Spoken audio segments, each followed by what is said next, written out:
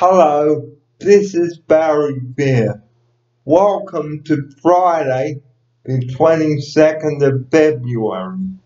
Thanks for joining me here this afternoon on my video about staying positive and respecting people's wishes if they decide to move on from the previous job. Firstly, I would like to give you all some tips about how to stay positive if you're feeling upset or down.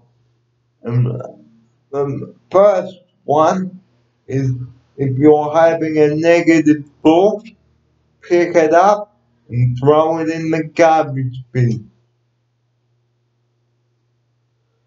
The second thing if you are having a negative moment, take some time out of your day to go for a walk and get rid of the negative thing that is bothering you.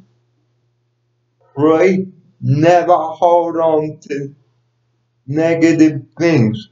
Throw them away as if they don't exist. Four, go for a drive in your car listen to a nice radio station such as Smooth or 2CH or listen to a compact disc. There is nothing wrong with staying positive, but don't mix the positives, guys, with the negatives, because the negatives and the positives, they don't mix.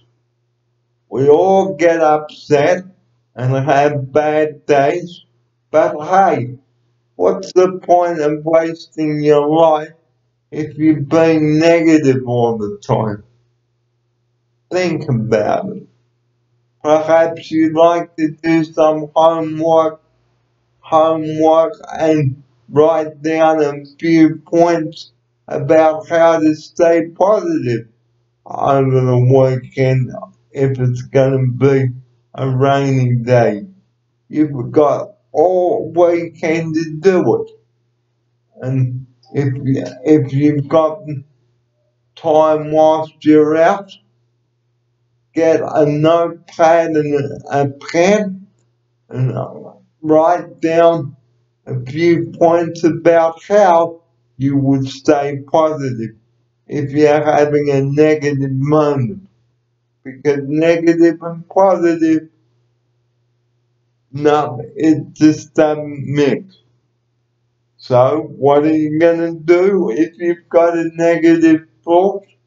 Pick it up and throw it in the bin.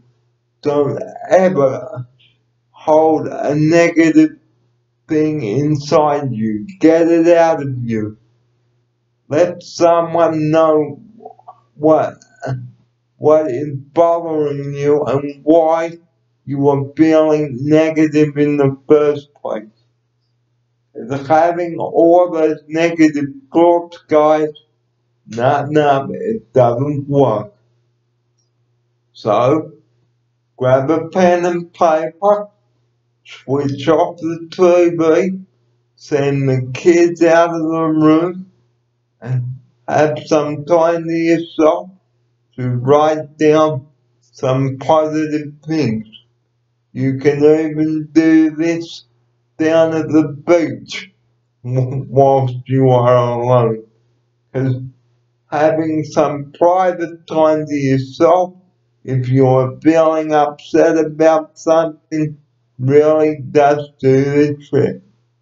And go down to the beach too and do some homework and write down on a notepad how you can encourage yourself to stay positive and take a portable radio too with a couple of spare batteries and listen to a nice calm radio station to help you get rid of the negative thoughts that you have inside you. And bring a friend along too if you wish. to help you get things off your chest and to get rid of the negatives that you've got. Believe you me, it will work. So why not give it a try this weekend or when you when you've got a day off coming up and it's nice weather. Take you and your friend down to the beach and have some good quality fish and chips and have a good long chat about what is bothering you and also write down where you are and what time you are at that place and the destination. So why not give it a try? Because you only have the one life to get rid of the negatives and start bringing in the positive stuff.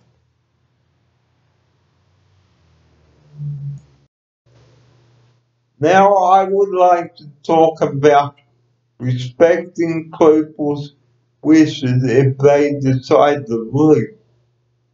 We should feel happy that some, when people have decided to move on or they're going back to school or university and also congratulating them and acknowledging people and wishing them the best of luck.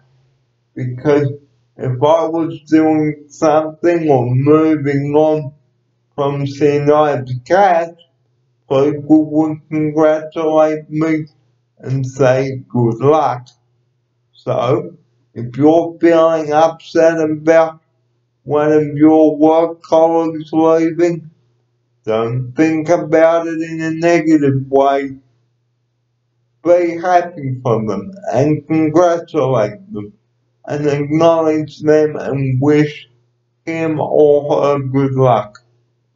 And talk to your your work manager about it and maybe he or she will be able to find a way to help you stay positive instead of feeling upset.